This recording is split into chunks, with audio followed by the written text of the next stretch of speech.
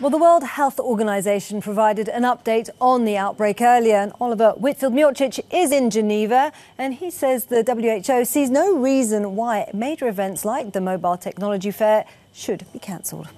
Well, Isabel, the World Health Organization is of the view that actually mass public events should still take place as long as the organisers of these events put in extra measures such as risk assessments and extra cleaning measures, as well as getting in touch with their local health authorities.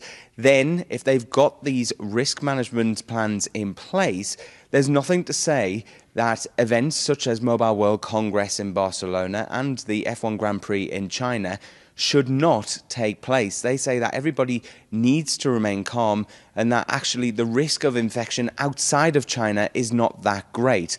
But it just goes to show the strength of fear around the novel coronavirus. The fact that this huge event, which was going to see 100,000 people fly into Barcelona to take part in it, had to be cancelled. And really, the writing was on the wall when big technology firms such as Amazon, Facebook, LG, Nokia began pulling out over fears that their staff could be at risk.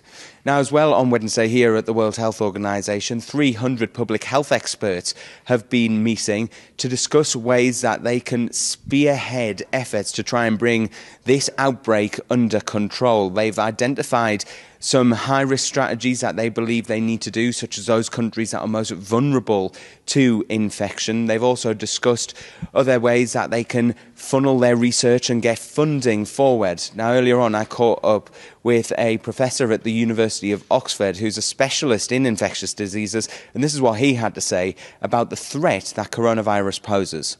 It's the biggest emergency I think we've faced in a very long time. It's been announced as a public health emergency of international concern for a good reason we've seen you know, tens of thousands of cases in China, and that's an underestimate. We've seen the deaths exceed those we've seen for SARS, and we've seen transmission in, in many, many countries outside China. So it's a real threat to everyone.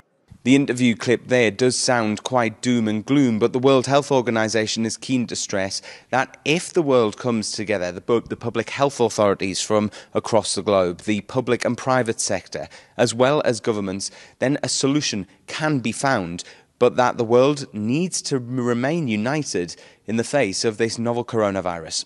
Oliver Whitfield Miocic at the World Health Organization in Geneva.